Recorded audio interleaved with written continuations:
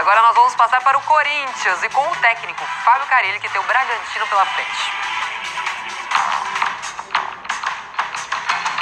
Chegadas e partidas.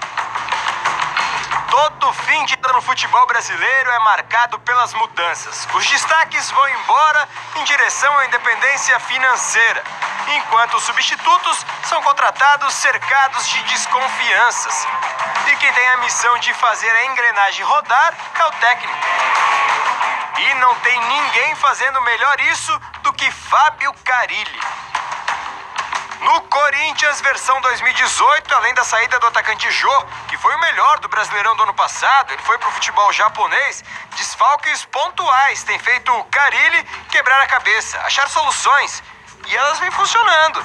Na frente, o iluminado Emerson Sheik, que abriu o placar na vitória contra o Deportivo Lara, jogou centralizado na vaga de Jadson, vetado pelo departamento médico. E a estratégia funcionou.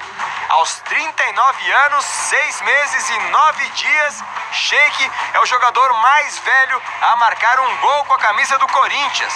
Nesse retorno agora eu eu ouvi muitas coisas, né? É, mas eu tinha aprovação do Fábio, aprovação da diretoria e parte dos jogadores. O que faltava mesmo era dito nisso. E você ter resultados bons.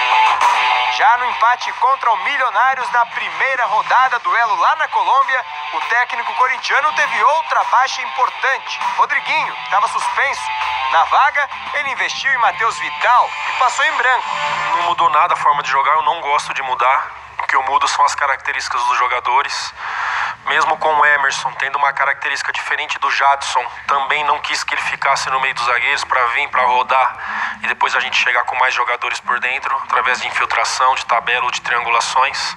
Né? Então, na verdade, é o seguinte: é, quando eu coloquei o Matheus no lugar do Michael, foi para virar um 4-1-4-1, Rodriguinho baixando um pouquinho mais deixando o Emerson mais centralizado, mas com a mesma ideia, não lá no meio dos zagueiros, vindo para ter superioridade, né, todos os jogadores com qualidade e quando há aproximação entre eles, é, a possibilidade de sair coisas boas é muito grande. Outro ponto forte do Timão em 2018 segue sendo a defesa, cada vez mais sólida. Nas últimas seis partidas, tomou apenas um gol. A busca dos 10 anos que eu estou no Corinthians. Né? Sempre falei, é, não é a ideia do Fábio, eu só estou seguindo a ideia que é do Corinthians, né, de sempre ter uma defesa sólida. É, nós somos campeões do mundo 16 jogos até chegar à decisão, tomando quatro gols entre Libertadores e os dois jogos do Mundial. É uma marca do Corinthians que a gente só dá seguimento. 14 jogos, 8 vitórias, 22 ganhados, 13 sofridos. O Corinthians em 2018 vem mostrando que vai dar trabalho, regido sob o comando do maestro Fábio Carilli.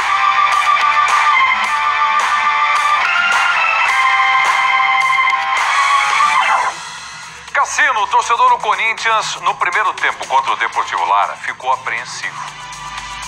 Várias mensagens no Twitter durante a transmissão da Libertadores. Precisa de centroavante, precisa de atacante, precisa de um cara lá na frente e tudo mais. Aí veio o segundo tempo, com um gol do Sheik, um gol contra 2 a 0. Né? E depois da partida, o Carilli falava de consistência do time. Esse time do Corinthians vai pegar e demora muito, Cassino. Eu acho até que já pegou já com pegou? essa vitória. É? é? a típica vitória que dá com o time. Entendeu? Ainda mais com o Sheik indo para a rede. Eu li em algum lugar até é, falando em é, DNA defensivo.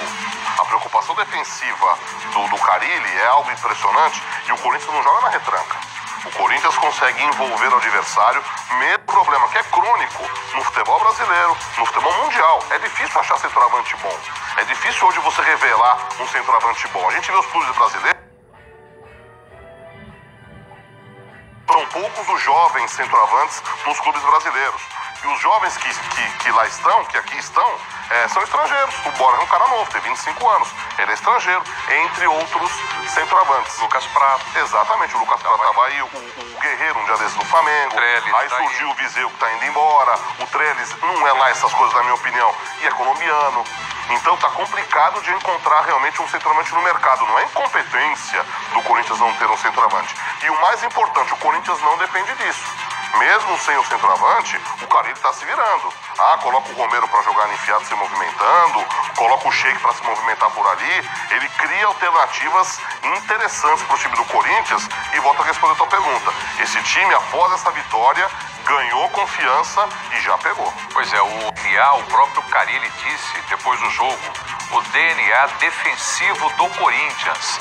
Né? E ele precisa acertar então a consistência do time, setor defensivo, meio-campo e o ataque também. De acordo com o Cassino, já está acertando, já pegou o time do Corinthians depois da vitória. Aliás, é, você tem razão, porque o time do Corinthians lidera o grupo 7 da Libertadores da América na segunda grupo, rodada, né? E liderar grupo de Libertadores, ultimamente tem sido difícil, não é fácil não, né?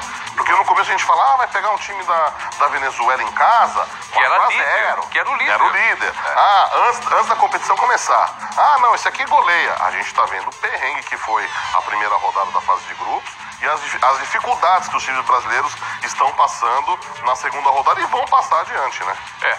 Vamos com informações aqui do time do Flamengo. João Venturi está ao vivo acompanhando. Tem gente falando, é o Everton que fala no microfone Fox Sports.